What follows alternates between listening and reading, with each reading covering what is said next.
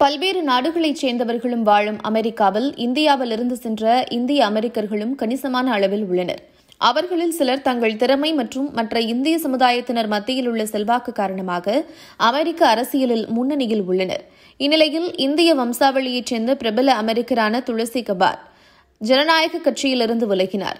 அமெரிக்க அதிபர் பதவிக்கான முன்னாள் வேட்பாளரும் ஜனநாயக கட்சியின் பிரதிநிதியும் இந்திய வம்சாவளியுமான துளசி கபார் மீது. திடீரென சொந்த கட்சியினரே இனவாத புகார்களை எழுப்பினர். குறிப்பாக அவர் அங்குள்ள இந்துக்கள் மீது கூடுதலாக பரிவு காட்டினார் என்பதற்காகவே அவர் இந்த புகார்களுக்கு உள்ளானார். இதனால் ஜனநாயக கட்சியில் அவருக்கு பல்வேறு நெருக்கடிகள் வந்தன. இந்நிலையில் அவர் தனது சமூக ஊடக பக்கத்தில் வெளியிட்ட பதிவில் நான் இனிமேல் ஜனநாயக கட்சியின் உறுப்பினராக நீடிக்க முடியாது என்று கூறி ராஜினாமா செய்தார்.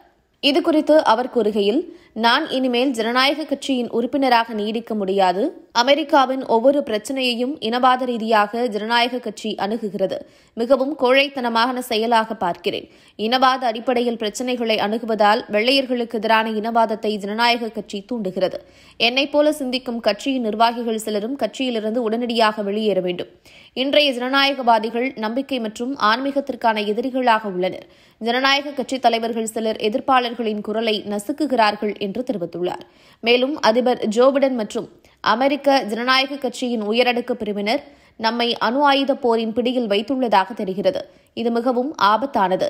இதே நிலை தொடர்ந்தால் மூன்றாம் உலகப் போர் ஏற்படும் என்றும் உலகம் அழிந்துவிடும் என்றும் துளசி கபாட் கூறினார் இதுகுறித்து அமெரிக்க பத்திரிகையாளர்கள் கூறுகையில் கடந்த சில ஆண்டுகளாக துளசி கபார் தனது கட்சி செயல்படும் விதத்தில் மிகவும் அதிருப்தியாக இருந்தார்.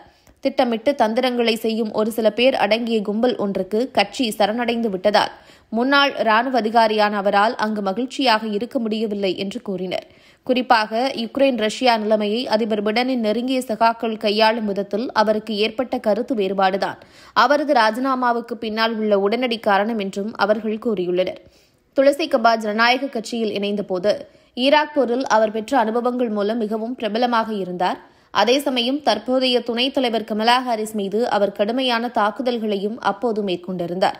ஆனாலும் கமலா ஹாரிஸ் தனது வழக்கறிஞர் பிம்பம் மற்றும் முற்போக்கு பிம்பம் இவற்றை காட்டி பிரச்சாரம் செய்து வெற்றி பெற்றார். ஆனால் கமலா ஹாரிஸை விட இந்து ஆன்மீக நெறிகளில் தனது ஆர்வத்தை அதிகம் வெளிக்காட்டியவர் துளசி கபாட் என்றே கூறப்படுகிறது. இதற்கிடையில் பல ஆண்டுகளாக துளசி கபாட் இந்திய சமூகத்துடன் ஒரு நல்ல ரெப்போவை உருவாக்கினார்.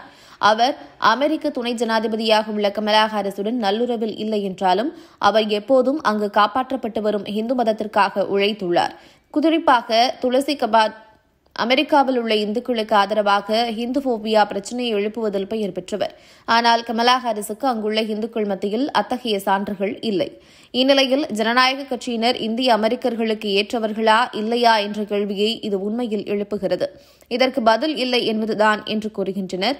ஏனெனில் இன்றைய ஜனநாயக கட்சியினருக்கு ஹிந்து போபியா பிடிப்பதில்லை. அதே சமயம் அவர்களை இஸ்லாமோபோபியா என்று யாராவது கூறினார்கள் அதனை வைத்து அவர்கள் மகிழ்ச்சியுடன் எதிர்கொள்வது தெரியும். அவர்களுடைய முக்கிய குறிக்கோளும் இதுதான் என்கின்றனர் நிபுணர்கள் மேலும் ஜனநாயக கட்சியினர் தங்களை உலகின் பெரிய தந்தையாக கருதுகின்றனர். அவர்கள் திமிர் பிடித்த மேசியானிக் போக்கை கொண்டுள்ளனர். இந்த கொள்கையால் தான் அமெரிக்காவிற்கு மெக்சிகோ கியூபா வெனிசுலா போன்ற நாடுகளிலிருந்து புலம்பெயர்வோர் சட்டவிரோதமாக அதிகளவில் அமெரிக்காவுக்கு வருகின்றனர். அவர்களின் வருகை அமெரிக்காவில் குற்ற கலாச்சாரத்தை கொண்டு வருகிறது. மறுபுறம் அங்கீகரிக்கப்பட்ட விசா வைத்திருக்கும் இந்தியர்கள் சட்டப்பூர்வமாக ஆப்பிரிக்கா செல்லும் நிலை ஏற்பட்டுள்ளது. அமெரிக்காவில் ஒரு காலத்தில் குற்றங்கள் பெருகி மனித வளர்ச்சி மிகவும் மோசமாக இருந்தபோது சில மாநிலங்களை அப்போது அமெரிக்க அரசு மிக மோசமான மாநிலங்களாக அறிவித்திருந்தது. அந்த காலகட்டத்தில் உண்மையில் அவர்கள் இந்தியர்களின் வருகையை மட்டும் அதிகம் விரும்பினர். அப்போது ஏராளமான இந்தியர்கள் வெகு சுலபமாக அமெரிக்காவுக்கு சென்று இந்த மாகாணங்களில் குடியேறினர்.